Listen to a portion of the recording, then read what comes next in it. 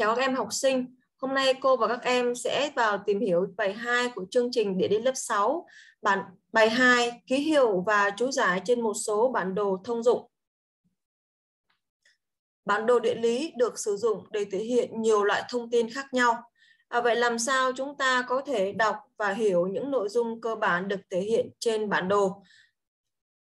Ví dụ, làm sao để biết được đâu là thành phố, đâu là công viên, rừng cây hay là dòng sông? À, những câu hỏi trên thì phần nào sẽ được giải đáp trong bài học hôm nay. À, sau khi học xong bài này, các em sẽ biết đọc các ký hiệu bản đồ à, và biết đọc bảng chú giải trong một bản đồ hành chính hay là bản đồ địa hình.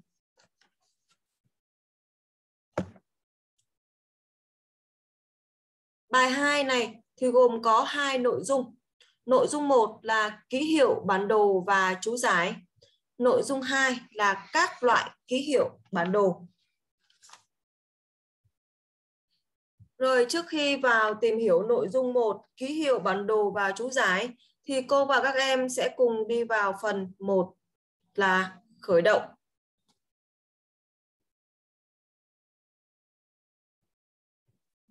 Rồi các em đang quan sát ở đây ba bản đồ. Mỗi bản đồ này á, thì được dùng để thể hiện các đối tượng địa lý khác nhau. Đúng chưa nào? Vậy nên là cô mới có một câu hỏi là trên các bản đồ này thể hiện các yếu tố gì? Thì chúng ta sẽ cùng tìm hiểu. Đầu tiên là bản đồ số 1. Bản đồ đầu tiên này là bản đồ địa hình lục địa Á Âu.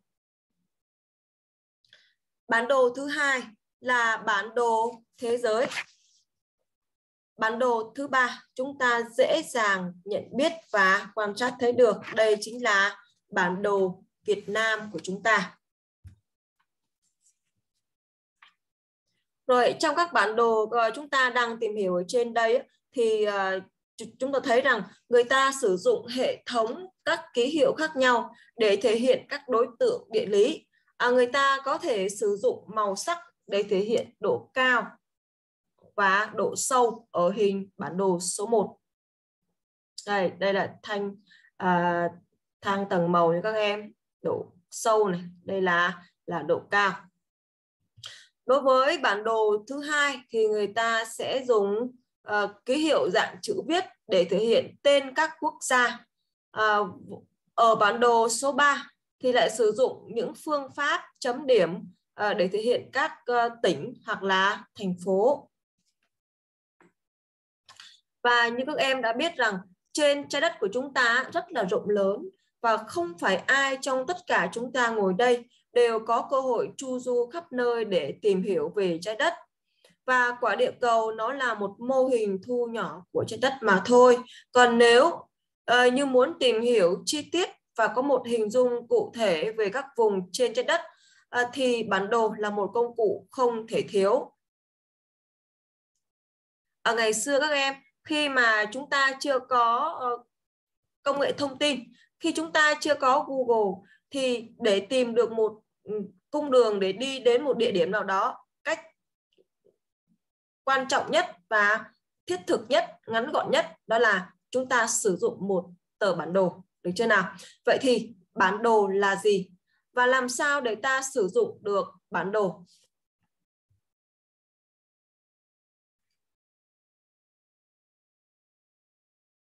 Các em dễ dàng để ờ, tìm thấy được thêm thông tin về khái niệm bản đồ ở phần đầu của bài 2 sách giáo khoa. Và cô sẽ cung cấp cho các em khái niệm về bản đồ như sau. Bản đồ là hình vẽ thu nhỏ một phần hoặc toàn bộ trái đất lên một mặt phẳng. Rồi các em quan sát này.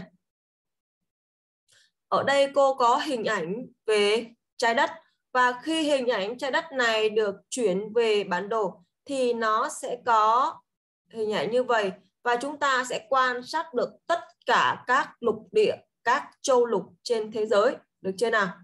Được chưa? Rồi, tiếp theo là là quả địa cầu từ quả địa cầu chúng ta dàn trải nó ra lên một mặt phẳng giấy. Thì chúng ta có thể quan sát được tất cả các nội dung mà quả địa cầu này đang đang thể hiện. Khi mà đi ra đường các em chúng ta không thể cầm theo một quả địa cầu được. Đúng chưa? Điều đó rất là bất tiện được chưa nào? Và cái mà à, cần thiết nhất đó là chúng ta cầm một tờ bản đồ. Và bây giờ thì bản đồ đó nó thay từ bản đồ giấy sang bản đồ bản đồ điện tử được chưa?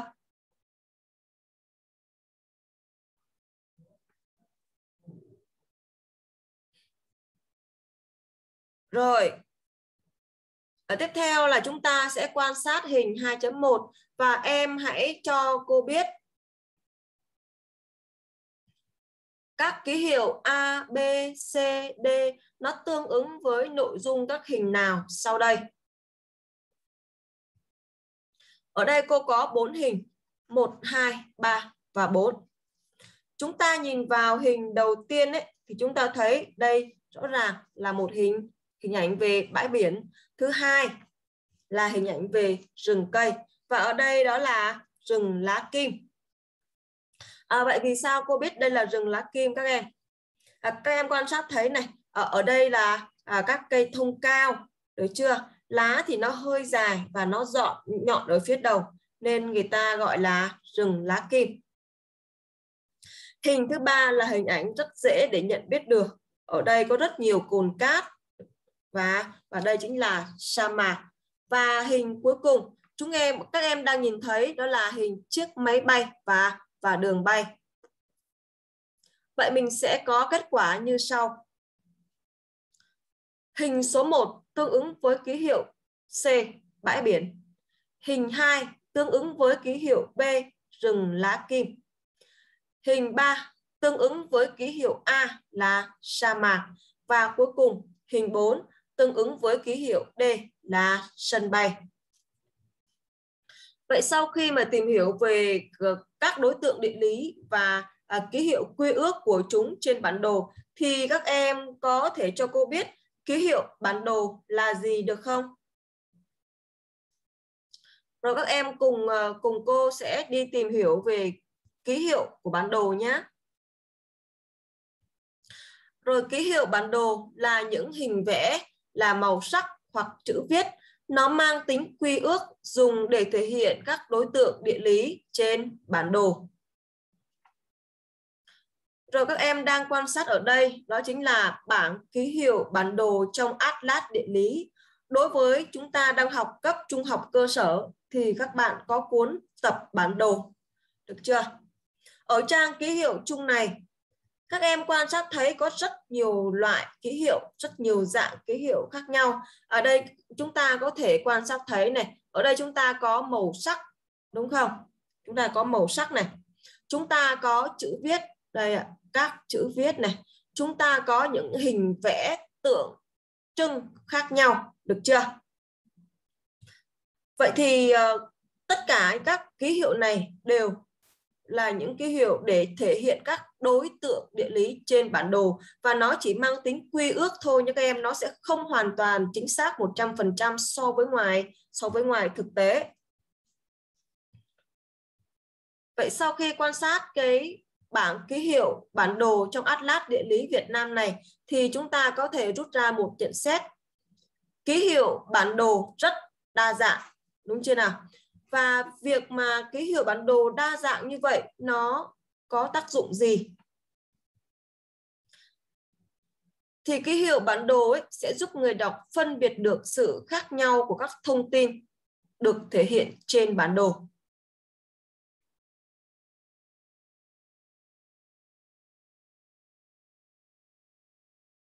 Rồi, tiếp theo là chúng ta sẽ quan sát vào hình 2.3 và 2.2 và các em sẽ xác định cho cô các nội dung như sau. Quan sát hình 2.2 bản đồ địa hình và sự phân bố một số mỏ sắt, mỏ than trên thế giới. Hình 2.3 là bản đồ hành chính Hà Nội của Việt Nam. Các em hãy xác định các yếu tố bảng chú giải, ký hiệu. Hai là xác định ký hiệu nào thể hiện các mỏ sắt, mỏ than, ký hiệu nào thể hiện ranh giới của các thành phố Hà Nội và các tỉnh lân cận. Rồi các em quan sát cho cô hai hình cô đang trình chiếu ở trên đây. khi quan sát vào một bản đồ nào đó thì việc đầu tiên các bạn cần cần làm đó là các bạn hãy quan sát vào bảng chú giải.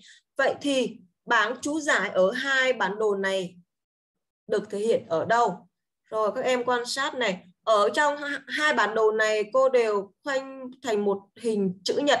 Ở đây cho các bạn dễ phân biệt. Và trong nội và nội dung trong hình chữ nhật này đây chính là là bảng chú giải hay nói cách khác là bảng chú thích. Và trong bảng chú giải này có kèm theo phần ký hiệu và phần ký hiệu thì thường thường sẽ được thể hiện ở góc bên trái, góc bên phải của bảng của bảng chú giải. Ở phần ký hiệu này, ví dụ như ở hình 2.2 này, ở đây chúng ta có ký hiệu hình tam giác này, hình vuông này. Ở bên hình 2.3 này, chúng ta có ký hiệu trong bảng chú giải đó là à, một hình một chiếc máy bay, được chưa nào? Rồi tiếp theo chúng ta dựa vào hai hình này và các em hãy xác định cho cô ký hiệu nào thể hiện các mỏ sắt và mỏ than.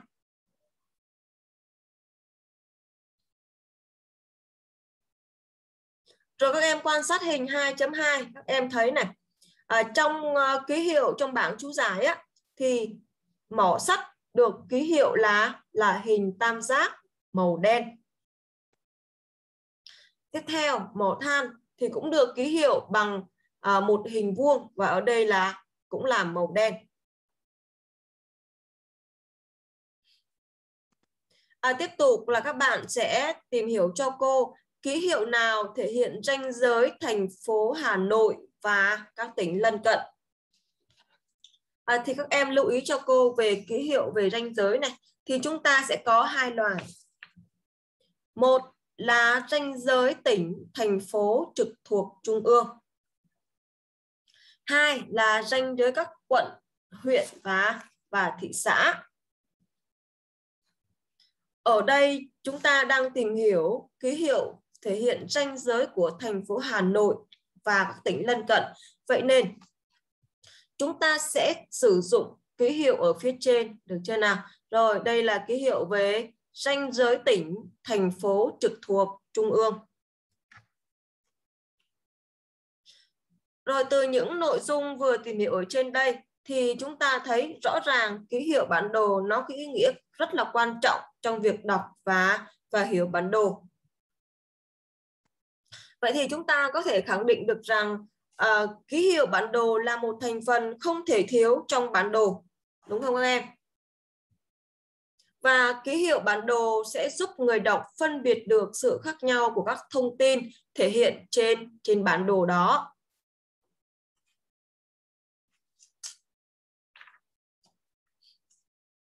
Và khi tìm hiểu bài thì chắc chắn là các em uh, sẽ thắc mắc là uh, trong bản đồ thì có cần đến bảng chú giải không? Uh, và bảng chú giải nó có vai trò như thế nào khi đọc bản đồ?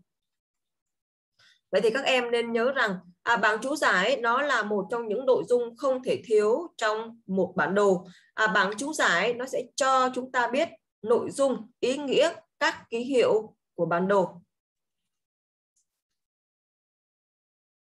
Rồi, phần 1 các em ghi nhớ cho cô những nội dung như sau.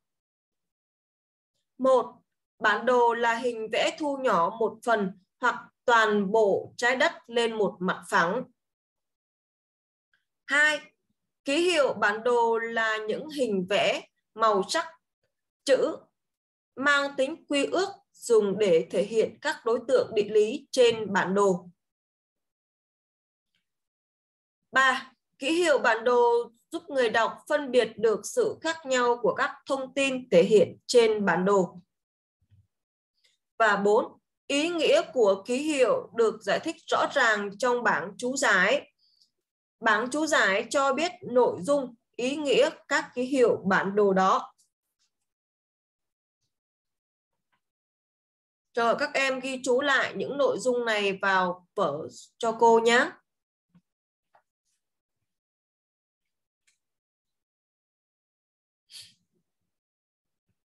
Rồi tiếp theo chúng ta sẽ tìm hiểu phần 2 các loại ký hiệu bản đồ.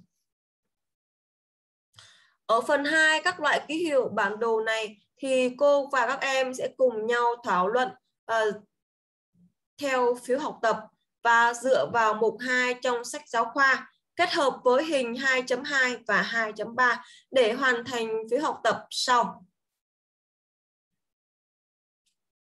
Trong phiếu học tập này cô có các loại ký hiệu như ký hiệu tượng hình, ký hiệu hình học và màu sắc, nét trái.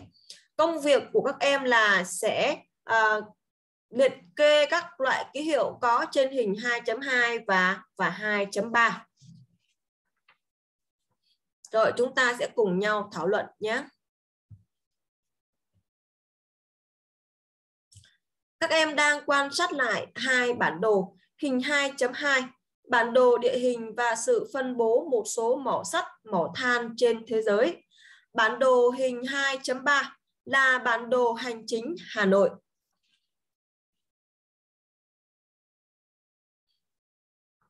Khi đọc bản đồ đầu tiên thì các em quan sát vào vào bảng chú giải nha các bạn. Khi mà các bạn đọc ừ, tất cả các loại bản đồ, không riêng gì hai bản đồ cô đang trình chiếu ở đây, thì điều đầu tiên là các bạn hãy quan sát cho cô về bảng chú giải, hay còn gọi là bảng chú thích. Và khi nhìn vào bảng chú thích này thì à, các bạn sẽ à, liệt kê được các loại ký hiệu mà các bạn đang cần tìm. Đầu tiên đó là ký hiệu tượng hình. Thì chúng ta quan sát và thấy ký hiệu tượng hình này nó có ở bản đồ hình 2.2.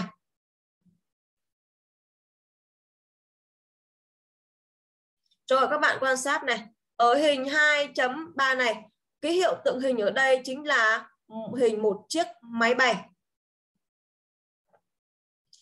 Và hình ảnh chiếc máy bay này đang thể hiện cho ở đây có sân bay quốc tế và cụ thể ở đây là sân bay quốc tế Nội Bài. Đối với ký hiệu uh, hình học thì chúng ta uh, nhìn thấy ở hình 2.2 uh, à, chúng ta có mỏ sắt này, uh, mỏ than này. À, mỏ sắt thì được thể hiện bằng hình tam giác màu đen. Mỏ than thì được thể hiện bằng bằng hình vuông và cũng là màu đen. Tiếp theo là về màu sắc. À, màu sắc thì các em quan sát ở trong bảng chú giải à, chúng ta thấy ở hình 2.2 à, có ừ, hai thang màu được chưa nào ở thang màu đầu tiên đó là phân tầng độ sâu và thang màu thứ hai là phân tầng độ cao. Và dựa vào hai thang màu này người ta có thể xác định được độ sâu và độ cao của một địa điểm nào đó. Thường thường độ sâu á, thì à, thì sẽ thể hiện à, về độ sâu dưới mực nước biển. Được chưa nào? Còn độ cao thì người ta muốn thể hiện độ cao của địa hình. Ví dụ như à, dạng địa hình đồng bằng này à, dạng địa hình à, trung du dạng địa hình miền núi thấp và dạng địa hình núi cao thì nó sẽ có phân tầng về độ cao khác nhau Tiếp theo đó là nét trái. Nét trái thì các bạn quan sát cho cô hình bản đồ hành chính Hà Nội. Ở đây chúng ta có à, những nét trái thể hiện cho ranh giới tỉnh, thành phố trực thuộc trung ương và ranh giới quận, huyện và và thị xã. Đối với hình 2.2 thì nét chảy ở đây được thể hiện là là một số con sông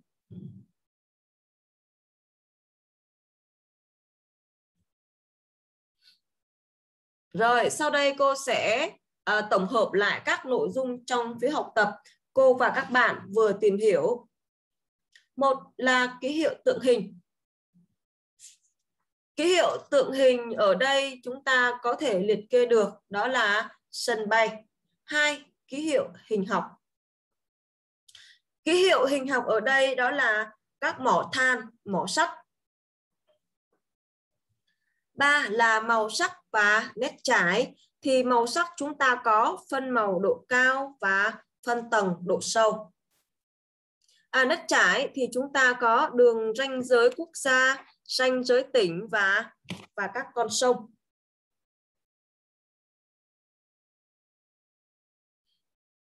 rồi các bạn đang quan sát ở đây là uh, hình ảnh phân loại các ký hiệu. Và thì cô sẽ hệ thống lại kiến thức của phần 2 cho các bạn với những nội dung như sau. Các loại ký hiệu bản đồ thì chúng ta sẽ có 3 loại ký hiệu bản đồ. Một là ký hiệu điểm. Ký hiệu điểm dùng để biểu hiện những sự vật, hiện tượng địa lý, phân bố theo những điểm riêng biệt như là mỏ khoáng sản, sân bay, à, các cảng biển hoặc là nhà máy thủy điện nè, nhà hoặc à, là nhà máy nhiệt điện. Hai là ký hiệu đường. Ký hiệu đường thường được dùng để biểu hiện các sự vật, hiện tượng địa lý phân bố theo chiều dài như là đường ranh giới quốc gia, à, đường giao thông hay là đường sông. Ba là ký hiệu diện tích.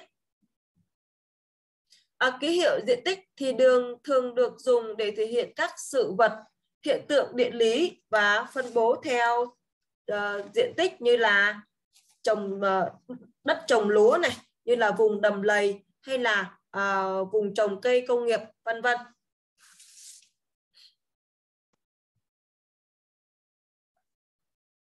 Ngoài bảng phân loại các ký hiệu ra thì cô sẽ cung cấp cho các bạn các dạng ký hiệu mà chúng ta đã tìm hiểu ở trong phần bài học. Ở phần các dạng ký hiệu này thì chúng ta có dạng ký hiệu hình học này, à, tiếp theo là ký hiệu chữ và thứ ba là ký hiệu tượng hình. Đối với ký hiệu hình học, chúng ta đang được nhìn thấy các ký hiệu như là hình tam giác, hình vuông hay là hình tròn. Đối với ký hiệu chữ thì thường thường người ta sẽ sử dụng những ký hiệu chữ này để thể hiện các chất hóa học. À, ví dụ như là AU. AU là ký hiệu của vàng. BB là ký hiệu của trì. FE là ký hiệu của sắt.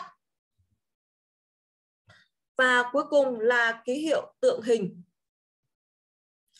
Ở đây ký hiệu tượng hình thì người ta sẽ sử dụng những hình ảnh mang tính chất tương đối tượng trưng cho các sự vật ở ngoài thực tế. Rồi cô lấy ví dụ như là hình ảnh các loại cây.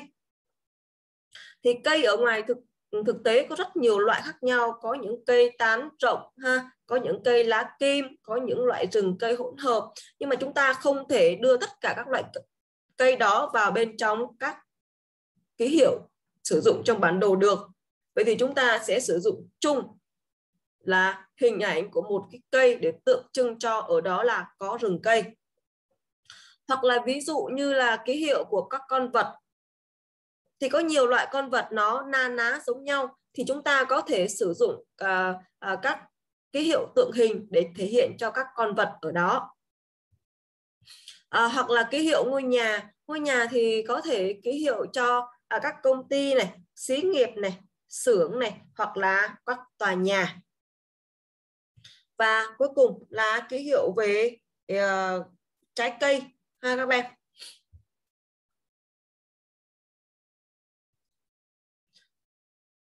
Rồi, cô và các em vừa tìm hiểu xong hai phần nội dung của bài 2, ký hiệu và chú giải à, trên bản đồ thông dụng. Tiếp theo, chúng ta sẽ đi vào phần luyện tập.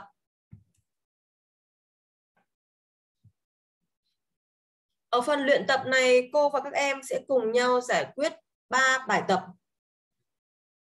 Bài tập số 1 là em hãy xác định vị trí và độ cao của đỉnh núi Everest, vị trí và độ sâu của vực biển Mariana và hãy tìm dãy núi Rocky. Cuối cùng là hãy xác định vị trí của sân bay nội bài. Rồi chúng ta cùng tìm hiểu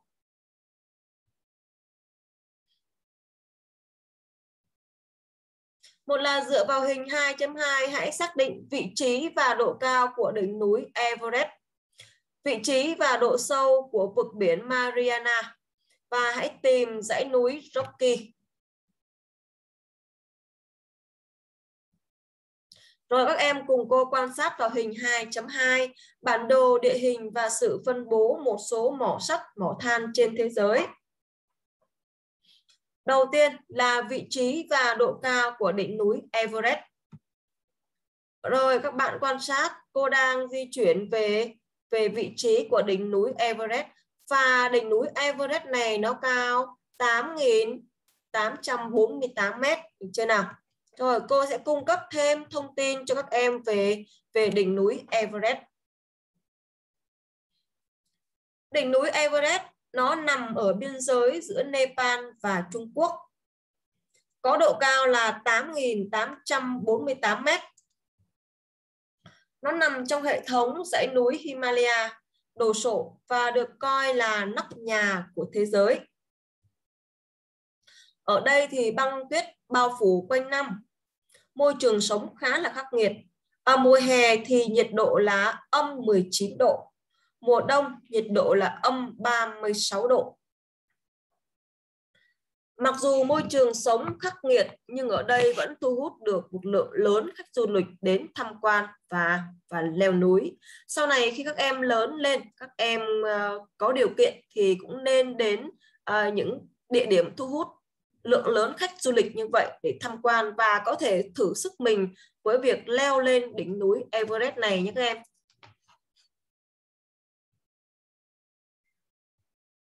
Rồi, tiếp theo là vực biển Maria, Mariana. Vực biển Mariana nằm trên phần đáy khu vực Tây Bắc Thái Bình Dương. Đây, các em quan sát nhé. Đây chính là vực biển Mariana. Nó nằm ở phía đông của quần đảo Mariana. Và ở vực biển Mariana này có độ sâu là 11.034 mét. Và đây là một trong những vực biển sâu nhất thế giới.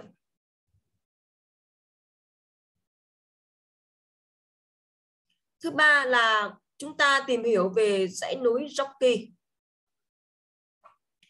Dãy núi Rocky này nằm ở phía tây của Bắc Mỹ đây là một trong những dãy núi đẹp nhất hành tinh. Ở đây thì à, bao gồm các quần thể là hàng triệu dãy núi đá hùng vĩ để các em quan sát này. Ở đây là các dãy núi hùng vĩ và ở đây là những núi đá như các em. Nó xếp san sát san sát nhau và nó tạo thêm tạo thành một quần thể hàng triệu dãy núi. Ở đây thì có rừng thông, có hàng trăm thác nước đổ xuống, à, nó có dòng sông băng và có hàng ngàn những con suối ao hồ và đây cũng là một trong những địa điểm du lịch rất là nổi tiếng và thu hút được nhiều du khách tới đây tham quan vì nó rất là đẹp đây cũng coi như là một trong những uh, nơi đẹp nhất hành tinh này các bạn một trong những dãy núi đẹp nhất hành tinh rồi cuối cùng là chúng ta sẽ xác định vị trí của sân bay nội bài ở hình 2.3. Rồi các bạn quan sát này. Khu vực mà có hình ảnh chiếc máy bay đây chính là thể hiện cho sân bay quốc tế nội bài. Và sân bay quốc tế nội bài này nằm trên địa phận là Sóc Sơn của của Hà Nội. Rồi các bạn quan sát hình ảnh sân bay quốc tế nội bài nằm nằm ở Sóc Sơn, Hà Nội.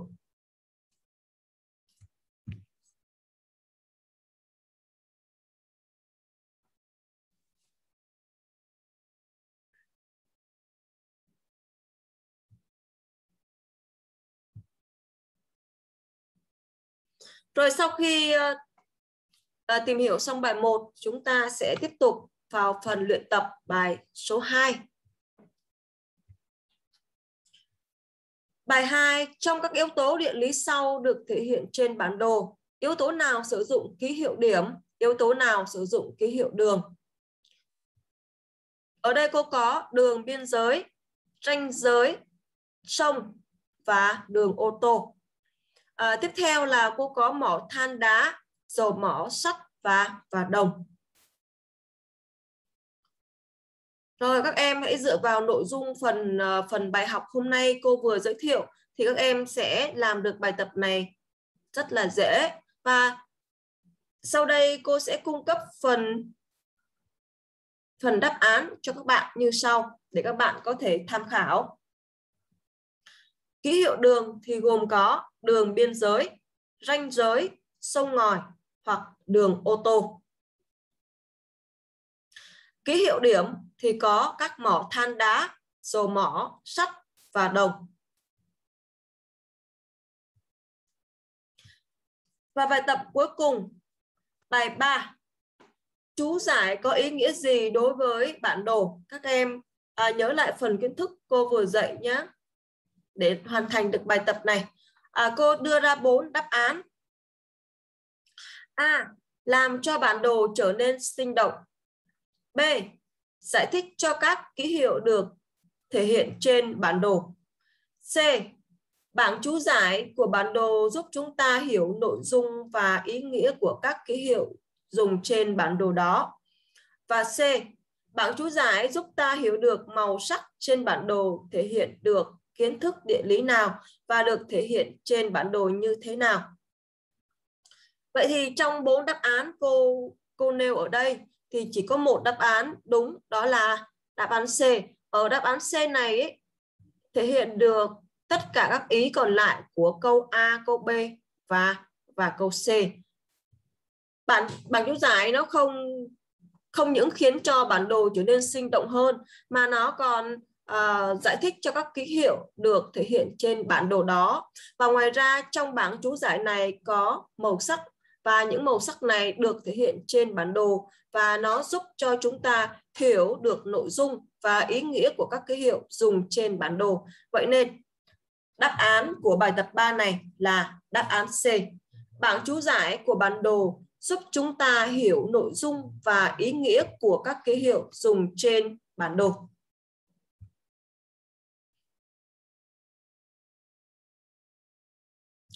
Rồi cô và các em vừa giải quyết xong 3 bài tập ở phần luyện tập và, và phần cuối cùng là phần vận dụng.